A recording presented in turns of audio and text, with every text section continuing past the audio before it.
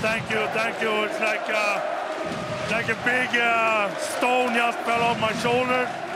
I've been wanting this so much for the club and for the team, and see the team uh, come back in a game like this. It's awesome. It's um, I'm proud of the team today. What made the difference in the whole series?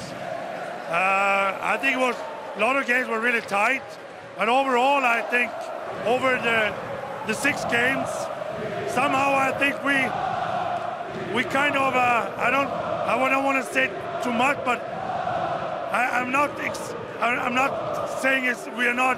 Uh, I can't talk right now, but I overall I think kind of deserved to to to win after six games, but it was tight. Olten is a good team. Uh, we tried to uh, win one home away game, and finally we did. And I think that was the that momentum that we needed to see that we can win again. again. And also the discipline. First game with many penalties, and then the team just sharpened up and we, kept that discipline and the energy, the skating, the score with the, the puck that we, I, I have to say, the team really responds good what we should do. And uh, but today was open, both teams could win.